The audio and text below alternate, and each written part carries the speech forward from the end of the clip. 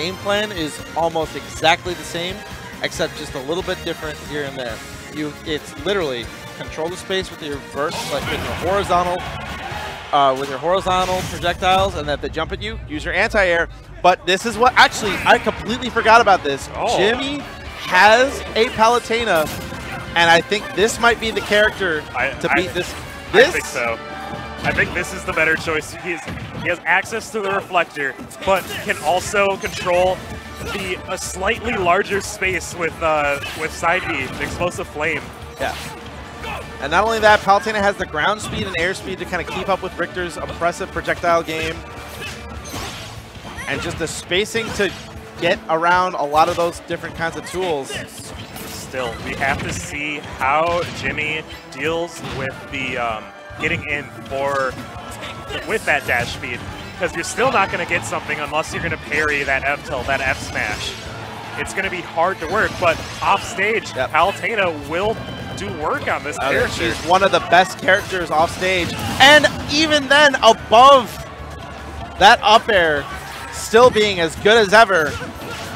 It really, it really just been a strong move. Palutena was always like a few changes from being a great character, and now we're seeing that come to fruition. But Frosty fighting back, nice go. F smash.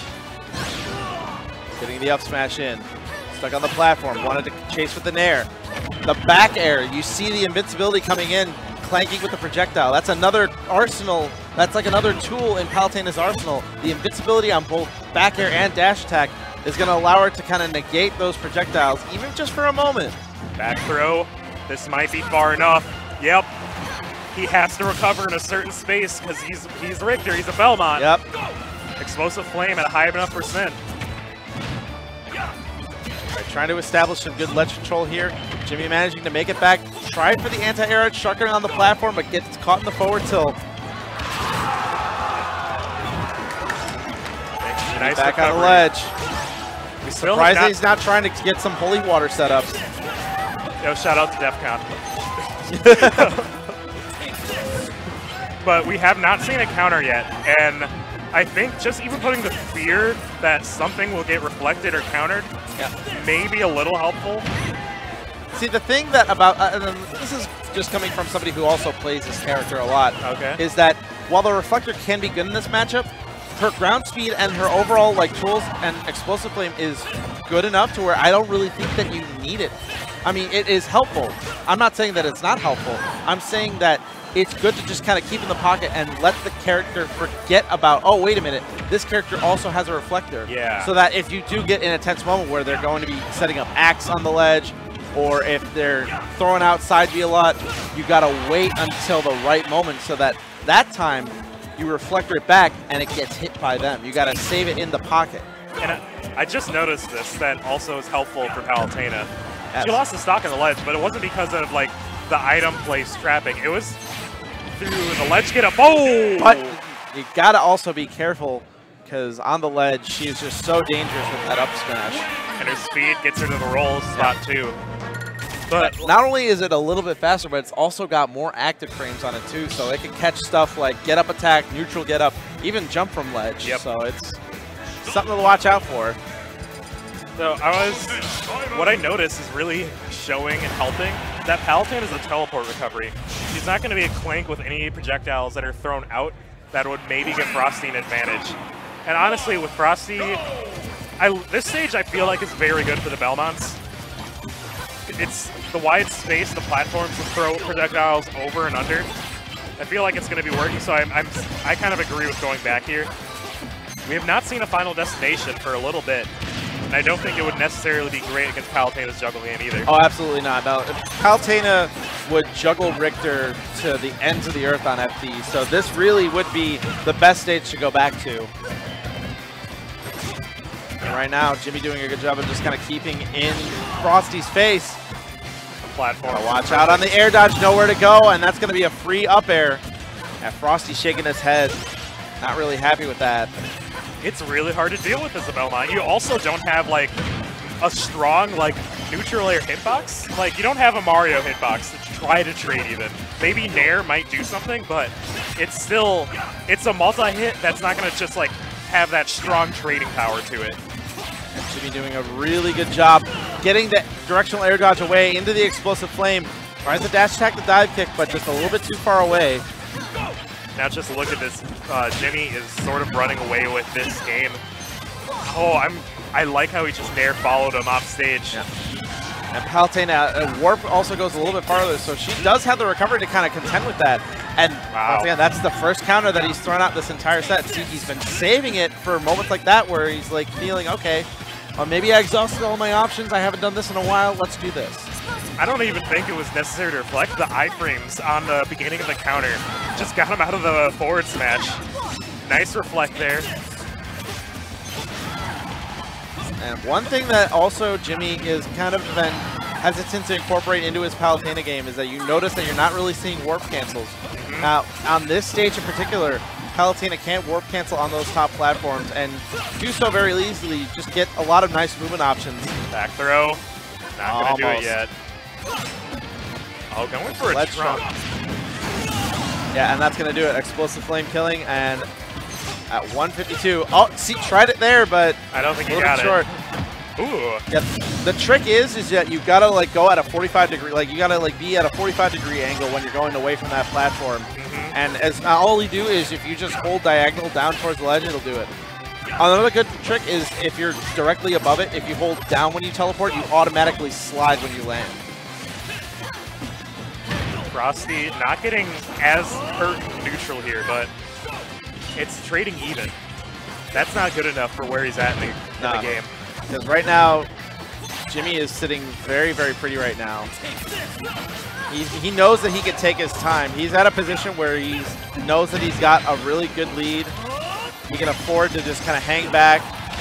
And Frosty is trying his best to kind of get in as fast as he can, but at the same time, to his detriment, it's causing him to like make a lot of mistakes and overextending a lot of stuff. And really, he's trying to rely back on the zoning thing. But like once again, you got to be careful with when you pull those projectiles because explosive flame can just punish the startup of that. It feels like Explosive Flame hits exactly where Richter normally wants to be. Yep, it's at that nice, perfect range. Oh, there is a side B. That that's that's the oh right there. That was such a good parry. And Jimmy going all the way out for it. Tries for the trump, not gonna get it. Gets hit with an up tilt. Now, back in this neutral state, Jimmy kind of going off here. A nice shield that Explosive Flame may have killed. I think, at, at this percent, oh, explosive flame will kill. okay. I think Frosty's noticed how to get through these projectiles now. Yep. And that's one thing that he's starting to adapt more is that explosive flame. It is a really good option, but if you get behind it as soon as Palutena throws it out, Palutena is stuck in a lot of landing legs, so you can't get it. Possibly a pretty big punish off of it. Okay, back throw is not going to do it yet. Forward No. throw definitely. For, forward throw. I mean, he wanted that just for stage position. Like that. That's easy. That's like. That's the one thing that he wanted. That was some of the most. That looked like the most Smash 4 s gameplay right at the end there. Hold shield, try that- that's the classic. dodge, just back airs That's that's how us Palutenas have been playing since 2014. it's the exact same thing. Just keep keep jumping, keep jumping, and if they drop shield, hit him with a back air. I'm Tail very, is old as time. I'm very interested in this game three because I think Frosty, Frosty got it. Frosty is beginning to understand how to use side B to interrupt Palutena's approach. Oh no! Wait, we got a character switch. To get Ridley, So, I, you know, I don't know if this is gonna be a good idea either. Because the thing is that Palutena eats heavies for breakfast. Her Nair is way too good as a combo tool. She's got the projectile and she's got the way to kind of control space as general. But on the other hand, really is a, really is a strong hitter. And Palutena is like uh, like is a fast faller, but in terms of weight, Palutena is on the lighter side. Like I would say upper middle weight. and I think what really helps is that Ridley is fast.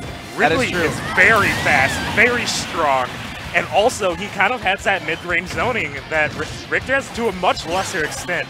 But I feel like it works a bit better in a close mid-range setting than Richter. And I, the way Jimmy has been playing, Oh! And gets the tech chase with the side B. man, I love Ridley. yeah, Frosty's definitely showing it up. Look at the look at the taunts. He knows. Oh, he's, oh, he you're feeling knows. yourself? Get it off your chest. Yeah, if I if I was if I was Jimmy right now, I'd be a little shook. That's that's the uh, that's the Elite Smash special. no taunting, no taunting online. Thanks, Nintendo. ZSS back air, not gonna do it for Ridley. And just the movement by the ledge here, the No. down smash. No invincibility. That was a regrab. Yeah, regrabbing that ledge, kind of a bad idea. All right, not gonna get the follow up on the down throw, And but this it was is a good one of position. this is one of the inherent problems with Palutena Stolka. Any character that can get up into her face really well, she doesn't have a whole lot of options to really get a lot of people off. While Nair out of shield is a good option, it does have a little bit of startup on it. So if a character is close enough, they can just keep that pressure going and they don't have to worry about anything. Let me tell you a little bit about Ridley's F smash. That- that move has so much knockback road. That is So much. that is just the that's the fuego. that's the entire Chipotle burrito at once. Just like okay, hold on, I don't feel so good. Yeah, ah! I think Jimmy's gonna be running running somewhere after this. Got to deal with a little some burrito action. That's Man, Ridley. Dude, I, as soon as he got that down B, I'm like, that, nah, that- like that was that was insane. That was absolutely nuts. But now here's the problem though. down two games.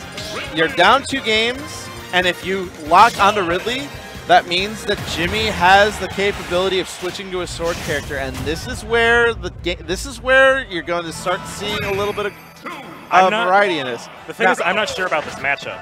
I'm not sure about this either because Chrom has the range and has the power to kind of keep Ridley at bay for the most part. All and right. as you're seeing right now, Jimmy is letting it be known, hey, you know, you got me on the last game. I'm not going to let you get the chance on this one. That parry just sealed it. This is like the exact opposite of last game. Yep. Last game, Frosty just had everything. This time, he even interrupts the, the command grab. I mean, Oh, here's the rough part for Chrom, though. Fireballs against Aether is a rough day. yeah, this is going to be like the the the, uh, the strategy for this for Frosty is going to be get Chrom off stage, try to get him in neutral B range, and gimp him using that because that neutral B that is easily one of Ridley's strongest gimping tools at a distance. Mhm. And you'll see it right here.